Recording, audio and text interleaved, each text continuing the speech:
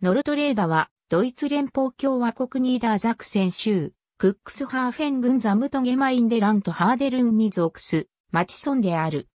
オッテルンドルフのグラマイヤーシュタックの堤防が決壊して4.5メートルの小規模な洪水が起こった際の浸水地域、ノルトレーダはニーダーエルベ地域に位置している。エルベ川川口及び北海に近いことから最大海抜1メートルのこの町は高潮で堤防が損傷した場合には広範囲が水没する危険性がある。起こり得るシナリオがグラマイヤーシュタックの論文に記載されている。ビルスター川はノルトレーダに水源を持つ。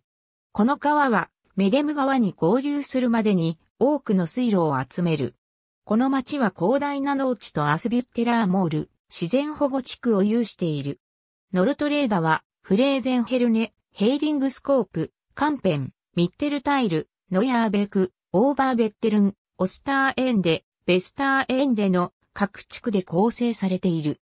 ノルトレーダは、東はノイエンキルヒエン、南東はイーリエンボールト、南はバナ、西から北にかけてはクックスハーフェンと境を接している。聖ニコライ教会の塔ノルトレーダは1312年に初めて文献に記録されているが、これ以前の1200年頃に、聖ニコラウスに捧げられた教会が完成した。ノルトレーダの町議会は11人の議員で構成されている。これは人口1001人から2000人のザムトゲマインデに属す町村の議員定数である。議員は5年ごとに住民の選挙で選出される。町議会は議員のオイゲンベームを任期中の名誉職の市長に選出した。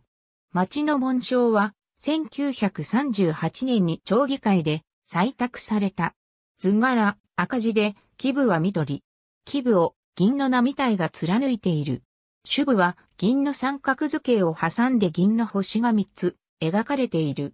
解説、緑の基部に描かれた川は、ノルトレーダの町の成り立ちを説明している。この地の最初の集落は、古い霊川の自然流路沿いに形成された。紋章上部の三つの星を持つ三角図形は、ラッペ家の紋章に由来する。古い年代記には、ラッペ家が、ノルトレーダの最初の最も尊敬される実ペであると記されている。騎士、コンラート・ラッペは1342年にノルトレーダの聖ニコライ教会の守護権を有していた。1395年のリッツェビュッテル陥落後、ノルトレーダのラッペ家は衰退した。ノルトレーダの農家ノルトレーダには交通技術上の重要性はない。広域交通網はこの町を通っていない。